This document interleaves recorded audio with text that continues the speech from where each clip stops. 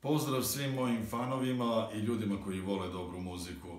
Evo, evo nas u studiju, već završili smo snimanje jedne divne pjesme, kako da vam kažem, ova pjevačica je divno otpjevala ovu pjesmu, Lepotana mojih snova volim ja, Zijada. Uskoro ćete čuti najbolja pjevačica na svijetu.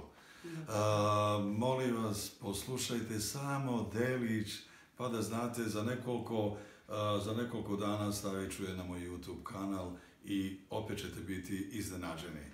Ajde. Ajde. Ljepotana mojih snova volim ja, volim ja. Izgubljena kao vatra gorim ja, gorim ja. Dosta je. Ili samo refren, ajmo. Udri, sudbino, udri, pogodi me u grudi. Pozdrav za sve vas. Preplatite se na moj YouTube kanal Muharem Serbezovski, oficijal page, oficijal page. Uskoro novo iznenađenje, Zijada, najbolja pevačica na svetu, lepotana mojih snova, volim ja. Pozdrav!